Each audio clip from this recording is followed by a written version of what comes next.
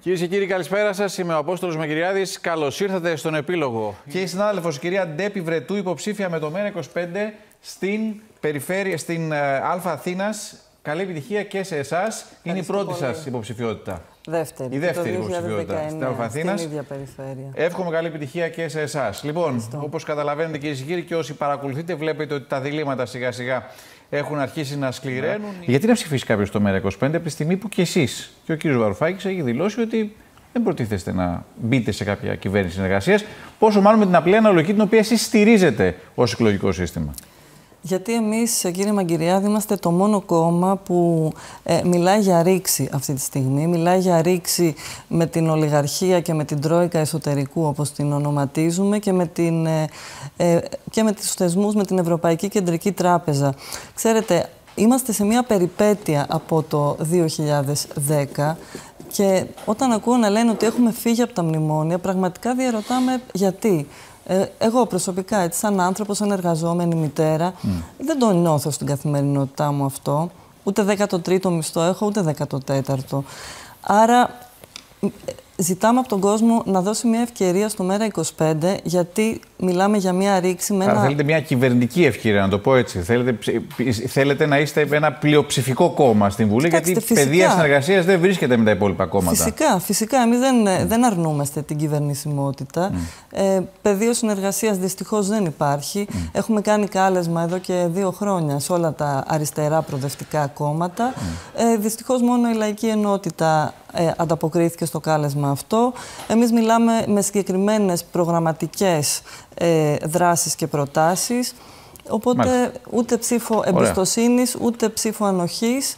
Και καμία και, συμμετοχή σε και οποιοδήποτε σχήμα μπορεί να προκύψει μετά τις εκλογές. Αυτό το έχει έτσι και αλλιώς απορρίψει η ίδια κοινωνία από εκείνο το βρώμικο 89. Λοιπόν, πήραμε. Εσείς μιλάτε για ρήξη. Πόσο διαφέρετε από το ΚΚΕ; Όχι ε... μέρα με τη νύχτα. Μέρα 25 με ΚΚΕ. Ξεφορτώνονται οι τράπεζες τα κόκκινα δάνεια, τα φορτώνονται οι φορολογούμενοι. Αυτή Δεν είναι αυτό, κύριε Καραθανασόπουλο. Είναι μια δημόσια εταιρεία διαχείριση. Είναι δημόσια. Είναι κακιά τράπεζα, είναι δημόσια. Αυτό προτείνει η Διοικητής Τράπεζας Ελλάδας.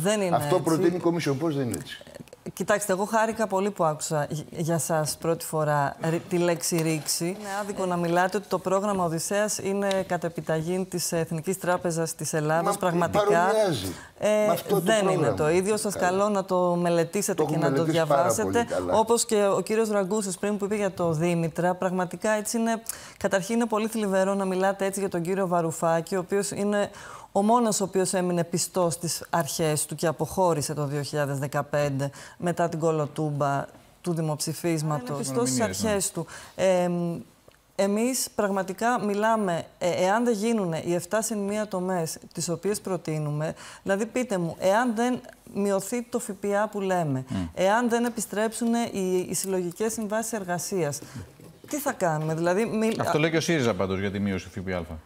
Κοιτάξτε,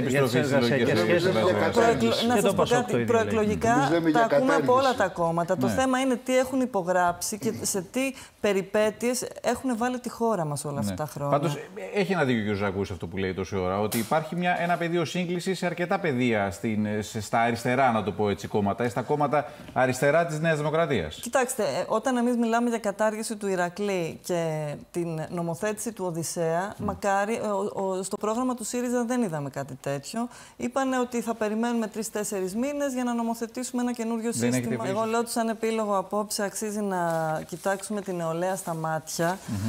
Και να θυμηθούμε έτσι ένα ρητό του Πλάτωνα, μια που είναι και πολύ της μόδας ε, τις δύο τελευταίες μέρες, ότι όσοι αδιαφορούν για τα κοινά είναι καταδικασμένοι να εξουσιάζονται πάντα από ανθρώπους κατώτερούς τους. Έχουμε δει τις πολιτικές, δυστυχώς, όλων των προηγούμενων κομμάτων. Έχουν όλοι υπογράψει μνημόνιο. Ευτυχώς όχι το ΚΚΕ, γιατί δεν ήταν και στην κυβέρνηση ποτέ.